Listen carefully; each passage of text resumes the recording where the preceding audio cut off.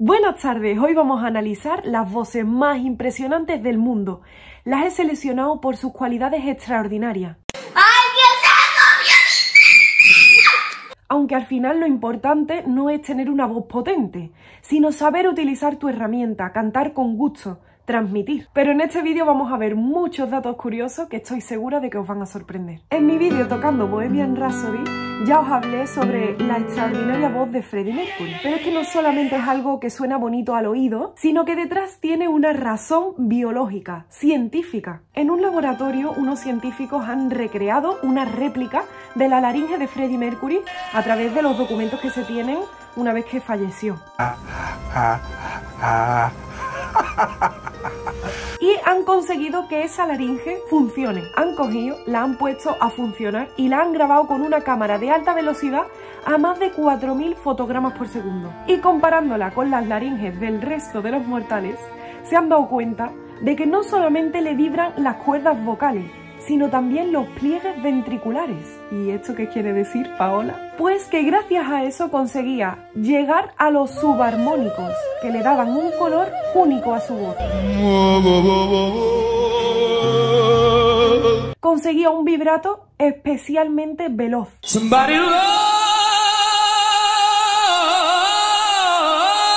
Y además su tesitura comprendía las tres octavas. Es decir, tenía bastantes graves y llegaba a notas muy agudas también. ¿Y quién podría competir con semejante don de la naturaleza? Pues solamente una en el mundo. La primera voz en la historia de la música que consiguió una tesitura de cinco octavas.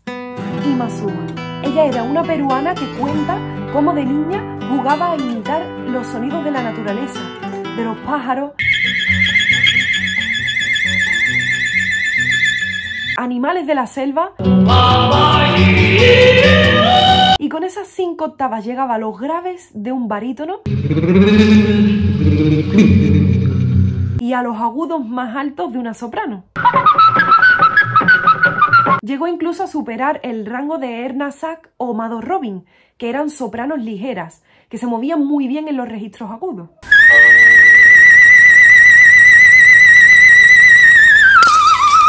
Además conseguían imitar con la voz instrumentos como el flautín, hasta el punto de que no consigues distinguir bien cuando canta y cuando toca la flauta.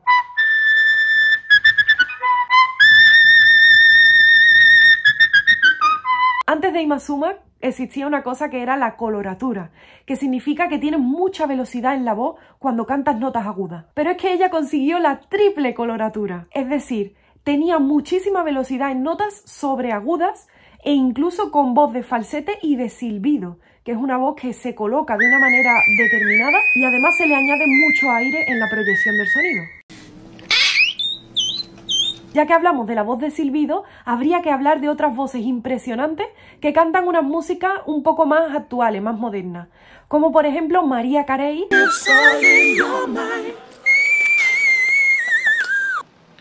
o Chanté Moore. Chantemur además tiene un rango vocal de casi 5 octavas y se mueve de una forma extremadamente cómoda con la voz de silbido.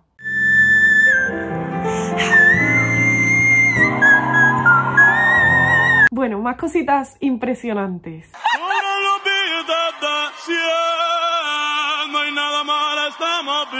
¿Habéis visto Avatar? la peli nueva, esa de los seres que son azules, pues en esa peli aparece un árbol al que llaman el árbol de las almas. Se conectan a ese árbol a través del pelo y así consiguen conectar con la tierra y con sus antepasados, sus ancestros, con los espíritus. Pues resulta que este árbol es real, pues la peli de Avatar se inspira completamente en la cultura de los taínos, que eran el primer pueblo indígena que los colonos conocieron. Pero a partir de 1492 los europeos, que nos creíamos el ombligo del mundo, empezaron a llamar a todos los pueblos indígenas con el mismo nombre, indios. como si todos tuvieran las mismas costumbres, las mismas culturas, y esto obviamente no era así. Pues bien, para los taínos hay un árbol sagrado al que ellos llaman Seiba, que creen que tiene un alma que es hija de Yaya. A Yaya ellos lo consideran el gran espíritu creador, y ese árbol Seiba es la conexión con el mundo de los espíritus y con la tierra. Entonces los taínos visitan ese árbol y hacen una especie de canto difónico que combina un canto más convencional con otro canto gutural que también introduce armónicos por el que hacen más de una nota con la garganta, es increíble. Imitan también sonidos de la naturaleza, sonidos de aves y pájaros. ¿Nos parece impresionante el canto difónico? Puedes conseguir cantar dos notas diferentes al mismo tiempo.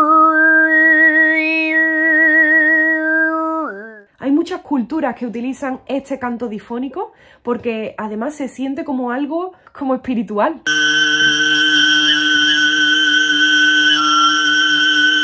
Te conecta con tu cuerpo porque consigues algo que no es normal, no, se escucha normalmente en los cantos ¿no? de hoy en día. Y además ha inspirado a un montón de bandas sonoras de películas, como por ejemplo la de Dune.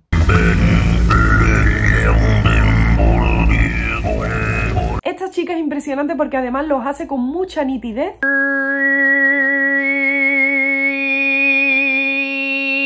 Puedes distinguir además esas dos notas porque yo lo hago y suena muy flojito.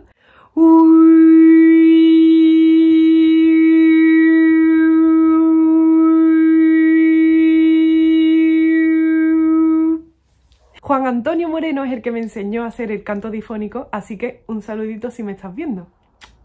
Así que si queréis aprender a hacerlo, os recomiendo que lo intentéis. Al principio no sale, pero luego si vais colocando bien las vocales, el paladar, como alguien que lo haga bien, os aseguro que os va a salir. ¿Qué hay del flamenco? Porque en el flamenco yo me sé dos voces que son completamente extraordinarias, como por ejemplo Camarón de la Isla.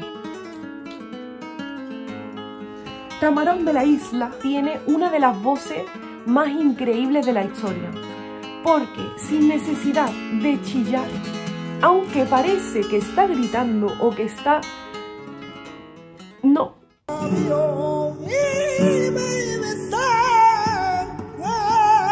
Tiene mucha potencia vocal y no le hacía falta gritar para llegar a las notas agudas.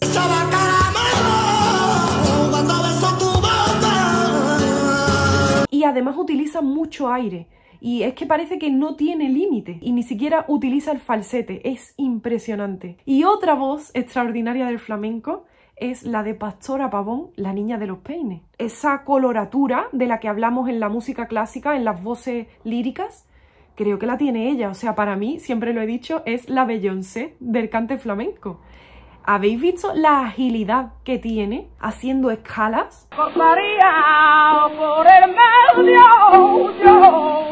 vez de hacerlo todo glisando y, unido, en vez de hacer ah, hace ah, ta ta ta ta ta ta. Es como si hiciera la la la la la la la, pero con una sola vocal.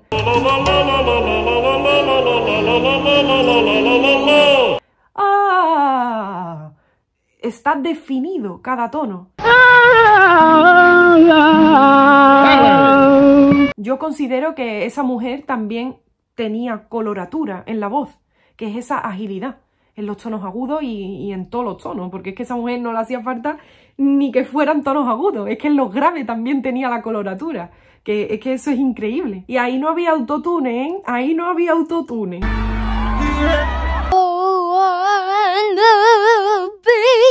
Espero que os haya gustado este vídeo, que hayáis descubierto artistas nuevos, no os quedéis solamente en este vídeo, buscad más música de esos artistas, de esa que cura el alma y el corazón. Y además se descubren muchas técnicas nuevas y, cosas muy bonitas. Si te ha gustado, puedes suscribirte, dar me gusta, coméntame qué artista es el que más te ha sorprendido, si me he dejado alguno en el tintero, que estoy segura de que sí, porque hay artistas maravillosos y que no hace falta tener una voz tan impresionante biológicamente, sino saber utilizarla y conocer tu herramienta para transmitir, que es el fin último de la música, no sorprender, transmitir.